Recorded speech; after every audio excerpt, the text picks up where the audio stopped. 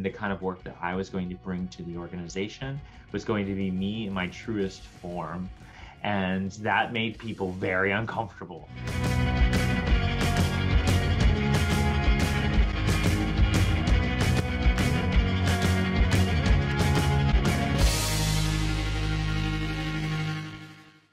Think about how you're going to build that strategy of empowerment for all 10 of your common differences. So I spent a lot of time researching these 10 differences.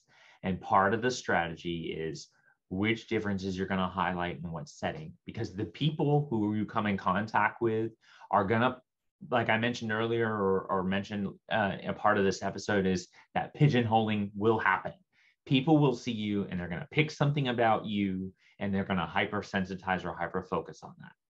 But if you have the plan of how you're going to drive empowerment for each of those differences that you hold on to, everything that makes you who you are, you have it almost like a toolkit in your repertoire that you're about to bust out and you're about to use it. And that toolkit also includes the leadership actions that you do to showcase the impacts. And then what is the impact? If you don't also communicate what the impact is, then you're going to also miss the boat. So that means that you can tell the heart driven story about having the door slammed in your face or having the cops called on you, like I did. But if you don't also include the economic statistics about your one of your differences, like I can talk about the fact that there are more than 2 million transgender people in the United States.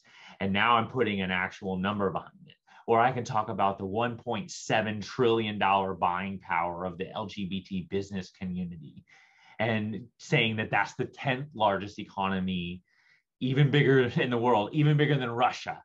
And now by putting all of that information, I'm sharing the power parts of empowerment along with the authority parts of empowerment, which are all the heart driven things to get you thinking about why this information is important and you have to connect those two things at the same time to reach more people. So i mean if anybody is interested in learning more about my empowerment and differences research you can find it at empoweringdifferences.com i'm going to try to make that super easy. Um, and i don't ever want there to be a barrier to access. So if enrolling my leadership course or buying any of my cur- published curriculum work is a barrier to access, please just email me and I will provide it to you. like literally, I never want there to be a barrier to driving empowerment for people. So if you're listening, contact me. You can literally find find my email right on my website. It's very easy. Um, and I would love to learn more about what you're doing to drive empowerment as well.